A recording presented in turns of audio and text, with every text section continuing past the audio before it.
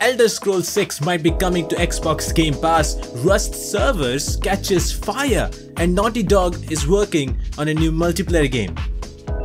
Hey what's up guys, welcome to a new video of Gamer Connect. My name is Gamin Madness and you guys are watching top gaming news of this week. It's apparently on fire.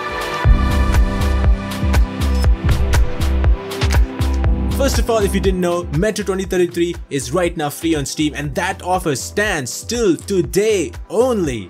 That is if you're watching this video on March 15th. Not only that, the other two Metro games that is Metro Last Light and Metro Exodus are also on a huge discount sale. Again, that ends up tonight.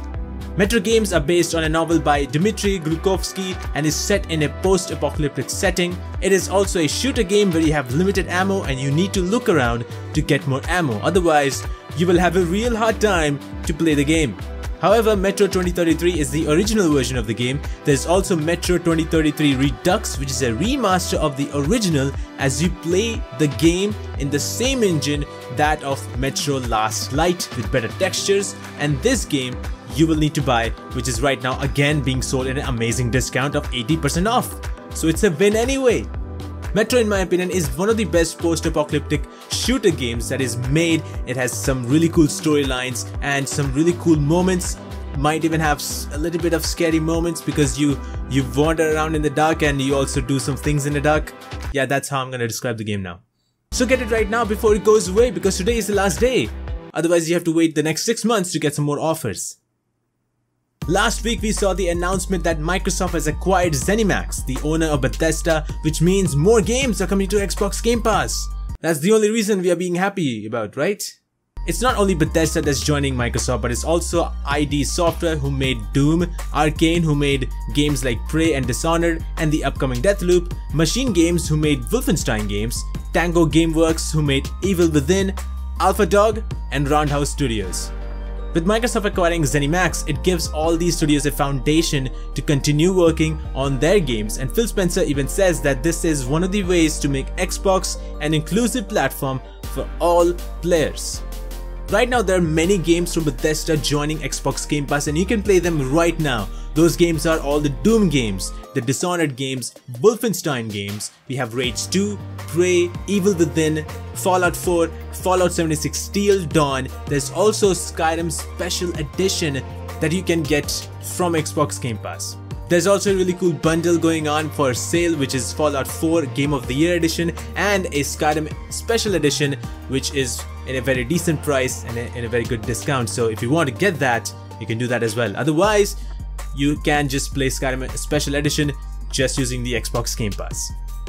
Now with this, it could be very much possible that the next future games that is Elder Scrolls 6, Starfield and maybe the next Indiana Jones, the new Indiana Jones, might even be coming to Xbox Game Pass. Not only that, on the first day of launch so that everybody gets to play. I think that will be really really cool to have but at the moment, nothing has been talked about on those games yet. Along with that, the question comes whether these games will be coming out in PlayStation or no. I mean Xbox can make these games exclusive to PC and Xbox if they wanted to but at the moment that is also not very clear. Although Deathloop and Ghostwire Tokyo will be PlayStation 5 exclusive as that was stated before the acquisition itself. Maybe later this week we'll get to know about what's happening with Microsoft and Bethesda even more and their future games. Or we will just get all the games exclusive to Xbox. Last week there was a huge fire in Strasbourg data center that hosted Rust servers. This fire was insane and the Rust producer couldn't believe that something like this could happen. Because of this, servers went down obviously. Usually when a server goes down, the FacePunch team is able to fix them easily because those are pretty normal. This one however was extreme. This fire was so large that they had to use a pump boat to ensure enough water could flow to the firefighters and that went on all night until morning. It took all night to take that fire out of that building. With that, the producer was sure that they needed to bring back servers online, otherwise people will start complaining. On top of that, those weren't the only people who were looking for data center because there were much more uh, websites which were hosted in that data center as well. And those went off too. So now the stock of OVH data centers were going away. In the end, they had to settle with the OVH Poland data center to host the servers, which is around 1000 kilometers away from the original server setup. Within 11 hours of the servers down, Facepunch team was able to bring back servers. Facepunch also had local and on-site backups to bring back the data to these servers, however, player progression wasn't in the on-site backup, which the producer said that they now need to do that and it was an honest mistake from their end. I think at this point it's very unfortunate that something like this happened. I mean, of course you will definitely expect servers going down, but you would never expect a fire breaking through the building of the data center where the servers are being set up. That is something that nobody can predict and that is exactly what happened.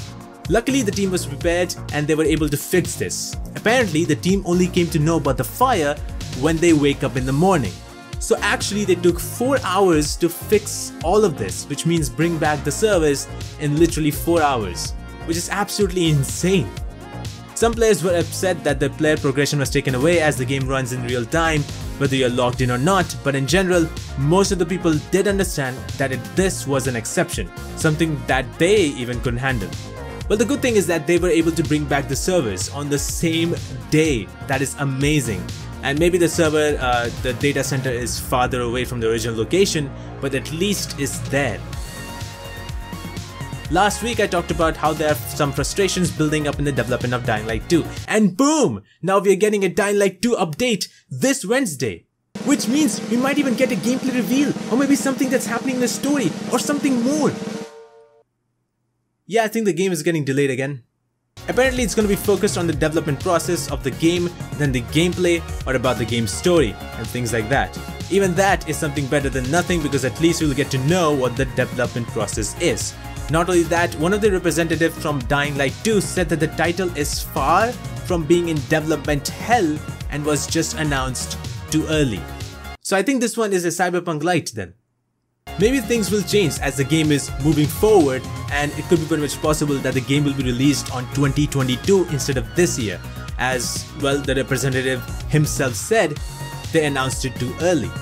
Well of course we'll get to more about Dying Light 2 this Wednesday. But instead of talking about Dying Light 2, let's talk about Dying Light 1. What do you think about this game? Do you think it is actually one of the best post-apocalyptic zombie survival open world game? Let me know in the comments below because I think it is. I think everybody should play this game if you're a fan of zombies. Which I think 90% of the people are. So let me know in the comments below. Well, even though Dying Light 2 might not be sure about when they can release a game, but it looks like Naughty Dog is 100% sure about making a multiplayer game. A position for economy designer was posted in Naughty Dog's website which mentioned candidates will ensure robust longevity for studio's game as well as design, implement and tune game economy and player progression system. The listing also says that candidates will create avenues for self-expression for our players, suggesting that the game might have customization. So it looks like this mystery multiplayer game might be a live service game which will go on for years and it might also have some kind of storyline with it which will give some rewards to the players. So it looks like it's Last of Us Part 2 multiplayer then, huh? Actually, no, it's not. It's not Last of Us Part 2 multiplayer because Naughty Dog already told that there will be no multiplayer for Last of Us Part 2.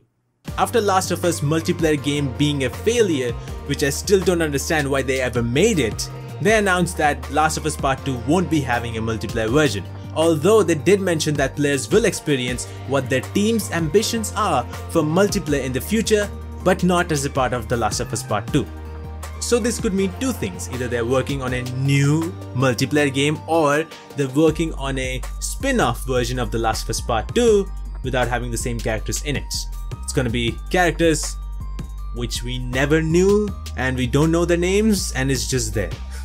Now I'm one of those guys who do not care about multiplayer from Naughty Dog because I believe that Naughty Dog is very good in story games. Many of them are controversial, or maybe just one of them but I still believe that they're doing story games in a brilliant fashion and they should continue doing this instead of focusing on the multiplayer aspects. Well, what do you guys think? Do you think that there should be a multiplayer game from a Naughty Dog studio? Let me know in the comments below. And do you want Last of Us Part 2 to have a multiplayer? Which, oh, I, why, I do not know why that idea came up with. But yeah, yeah, let me know in the comments below. For me, it's a no. Plain no. Well, thank you everybody for watching this video. I hope you enjoyed it. I hope you got something out of it. And if you did, leave a like, comment down below whatever you think about all the news we just discussed earlier. And do not forget to subscribe because that helps us to reach higher goals, to get new people, and get you these news every single week. Well, my name is Gamin Madness and I shall see you guys next week. Until then, keep awesome, play games, and have fun.